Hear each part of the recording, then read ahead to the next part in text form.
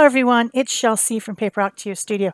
Today I'm sharing with you my full moon art and I'm doing it in conjunction with the Creative Arts Collaboration Arts Festival that's going on all weekend. There's a hashtag, hashtag love fall art. And if you put that hashtag in the search bar on YouTube, you will find all kinds of different autumn or fall themed art that you can watch. And of course, you guys who've been following along with me, if you're not new to my channel, you know that I've been making a full moon piece each month. And I have a Facebook group for that called, um, I think it's called Full Moon Art. I'll put a link below the video if you'd like to join the group. And each month, there is a named full moon. For the month of October, it is the Hunter Moon. Hunter Moon is uh, when the Native Americans thought that the deer would be fat and it would be a good time to hunt the deer and then prepare the meat to last the winter. And so that that is the time of year that that they felt this is October. so when that full moon hit, that was the time to go and do those activities. Their life was you know, about preparation. So they picked the berries, they, you know, hunted the rabbits, they hunted the deer. Everything has a, a time and a season, and that's what this piece is about. Uh, last night I was out, and it's not the full moon anymore. Now it's about halfway, but it's still very large here in Arizona. It looks very large, and it's orangey yellowy color. And another name for this moon sometimes is the blood moon. And I, I think that you know, it's for the same reason as the hunter moon. But having that color in the, the, autumn time of the moon where it's very orangey, reddy color rather than so bright and white and yellow um, seems to be about the changing of the light during this time of year. There's also, of course, the harvest moon, which is the moon that comes closest to the uh, the, the equinox the autumn, autumnal equinox. And so that was actually last month's full moon. So I made a very large moon in the background of my piece. I wanted to to think about that scale and how large it looked to me last night when I was out, even though it was it was only a half, because I just I haven't been out to see the moon this month. Um, I haven't been out much at all, so it just looked so large and I was I was looking at it and it was so large and orange and yellow. So for my piece, I made a large moon, a very large moon, larger than most of my other ones for the, the rest of the year. We've only got two more left and then this series will be over. And then I was thinking about the deer and I was thinking about, you know, I don't want to, I don't want to think about hunting. I don't want, it's, the hunting has always bothered me. My family is very much into hunting and preserving meat. Um, that my family who lives in, up in the state of Idaho, all my uncles and my cousins, they all go out and they, they camp and they hang out and drink beer and they all try to get some sort of animal. And then they take the meat and preserve it and use it for their families all year. But whenever I'm visiting, I'm like, no, I, you know, what meat is in that? If they serve me something is it, is it deer meat or is it beef? You know or is it you know i just i don't know. I don't like to think about it. So you know coming up on this moon i wanted to think more about how hunting is a beneficial thing rather than about you know killing the animals. I don't want to think about that. I don't like that. I don't want to think about it. But for people who need the food, it's it's very helpful. And also, if there are not hunters, sometimes the there gets to be an overpopulation of the animals. That's the reason that each state has an office that tracks how many animals there are and is there enough resources to feed all those animals or you know will they die of, of natural depletion of resources, and then they issue tags for how many can be taken for food. So it is it is a regulated process. It's not like you know, we're savages and they're all going out there just, but that's how they act. That's how my uncles and cousins act. They act like they're big, tough men who are going to go out there and get their deer, you know, and probably they're just sitting around drinking beer, I bet, most of the time. I mean, let's be realistic. But as I was thinking about that, and I was thinking about how the Native Americans, who most of my full moon names are from, I'm, I'm getting them from the, the Farmer's Almanac, who got them from Native Americans. And they all, they usually mention some, you know, European type names too that that might be from some of the older people in whatever region. I mean, I'm sure that that any any natives that you might come across that were living from the land before this happened, they probably have ways to track the season, and the moon is a great way to track the seasons. So that would that would be not surprising if maybe the Aboriginal people might have names for the moons. I don't know them. I'm getting the ones that I get from the Farmer's Almanac. And where was that, all that going? Oh, so yeah. so the names are coming from the Native Americans. And Native Americans that I've come in contact with, and I grew up near a reservation in Oregon, um, they're very they, they honor the earth they honor nature they're very grateful for what mother earth gives them um, they have ceremonies and things that that thank thank the the nature and a lot of their spirit guides and things are animals and so i wanted to create a type of full moon piece that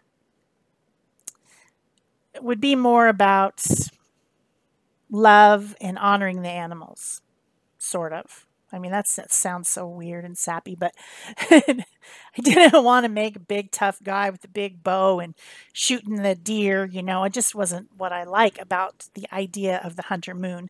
And so instead, I decided to make a female character.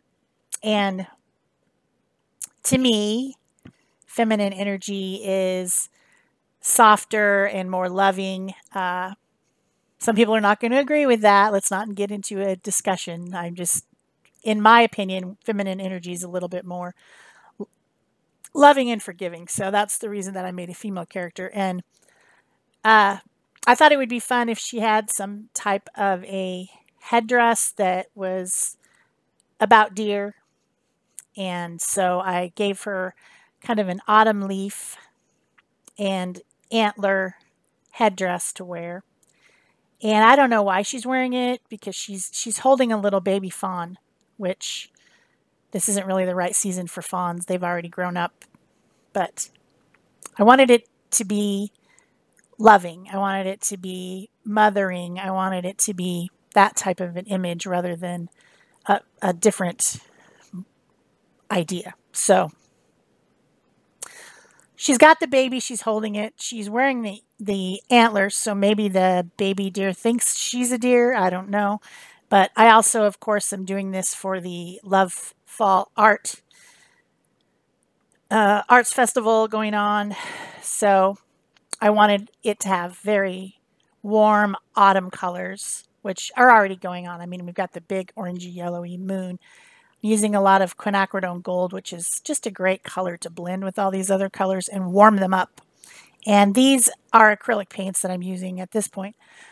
this is going to be a mixed media piece, but I started out with um, the acrylic. So these are the DecoArt fluid media fluid paints and they are kind of like golden fluid paints. They have a high pigment load and they're liquidy rather than, you know, like a heavy body, thick gel type. So that's what I'm using for all of this first part is these media paints and adding in a lot of warm tones. I did use uh, Prussian blue for the background for the dark night sky and then all the rest of the colors are warm tones. There's um, dialeride, or however you say it, yellow. There's quinacridone gold. There's, uh, I did get out some transparent iron oxide, but I didn't use very much of that. There's uh, primary magenta.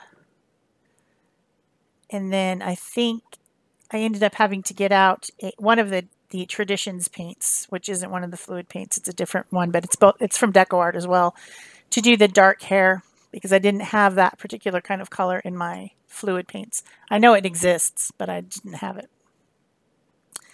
So I'm just continuing to go along and paint and mix and blend colors um, and add them around. I've got some green gold, which is a warm tone green, and I've of course got titanium white, which I'm mixing. Uh, a lot of the colors that I'm using in these fluid paints are translucent, and so I like to mix them with a little bit of titanium white so that I get an opaque paint because I do have pencil marks on there and I want to cover the pencil marks. Couldn't decide what color I wanted the antlers to be. At first I thought maybe they would be a bleach bone type color because, you know, they're not attached to the animal anymore, so they wouldn't have the fuzz on them. But then that didn't look right, so I ended up making them more of like a tan brown color like they would be if they had the fuzz on them still. And then, of course, the leaves are the fall leaf colors, the autumn colors that are coming out now.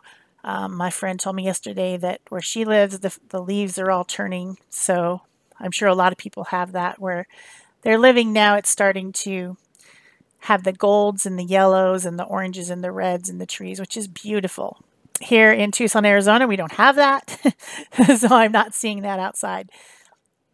So then I thought I would add a little bit of pattern, um, tone on tone type monochromatic pattern to my uh, piece. And I'm using a StencilGirl stencil called Wolf. And I will link it in the description box below so that you can find out which one it is. It has this triangular pattern on it, which reminds me of if, if you're looking at the night sky, it seems like all the the constellations that you can find, whether it's the Big Dipper, whether it's Orion, whatever, if you can identify a constellation, it's like you're going from star to star to star in a triangular pattern. So I, that's just, it just, triangles remind me of the stars in the sky. I don't know why. Maybe I, I did too many dot to dots when I was a child because you're always drawing a straight line between two points. And that you end up with a lot of triangles. So I thought that would be interesting in the sky just to give it a little bit of pattern to get rid of any brush strokes. So I used a cosmetic sponge and sponged over the stencil. I did some darker over a medium and some lighter over a darker to just make a pattern. And then I used some of that titanium white paint and um, thinned it down with some water and splattered it to make these actual stars. I like to splatter when I make stars rather than doing them with dots because it gives a more random pattern. Can't control splatter. Splatter does what it wants. so then I went and got my Neocolor 2 water-soluble crayons or pastels. Um, I love these. They're so creamy. They're so full of pigment and opaque in most cases, except for the yellows because yellows are never really opaque. And I also have my Stabilo All pencil, which is a black pencil that is extremely water reactive. And I'm doing kind of illustration lines. I like illustration lines. I prefer that over the painterly look of things. And so I'm taking that pencil. At this point, it's just a little nub. but I do have other ones that are full size. I just, I want to use this one up before I, I sharpen another one. And then I'm taking the crayon and I'm using it to kind of give me highlights and shadows over the acrylic. I love the way this looks. I think that it really gives me a nice effective blended look.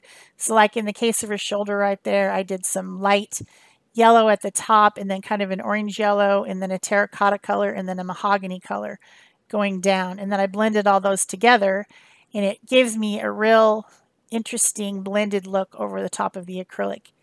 I could do that with acrylic paint, but it would just take me um, it just doesn't give the same effect. I like the way the, the, the Neocolor 2 looks over the paint. I just enjoy it a lot.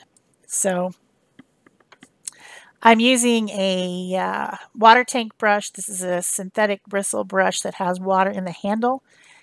And I'm going and blending around, blending the Stabilo pencil, blending the, the Neocolor 2 crayon um, pigment. Of course, it's water soluble, so if I really want this to be, you know, a permanent painting, I need to I need to seal it with uh, I, I would use a spray sealer over the top, a matte finish spray sealer, and I'll put a couple coats over it, and then it'll all be sealed in um, at some point. And I'm doing that with all the different areas. So like down there in, in her little top where it's kind of the green gold, I added a light lime green color for a highlight and then some olive underneath for a shadow. And I blended that. And then that just takes that kind of one color that I painted it with the acrylic and makes it into a more dimensional piece of color. So I'm doing that with the hair as well. I'm just going along, adding some crayon, blending it, blending the pencil, and I do that through the whole piece. I did it with the face as well. And it brings out the details. Uh, it looks the way I like it. This is my type of style, I guess. I guess I have a style. Somebody told me I did. so this must be my style. I just um, I like I like it to have lines around it.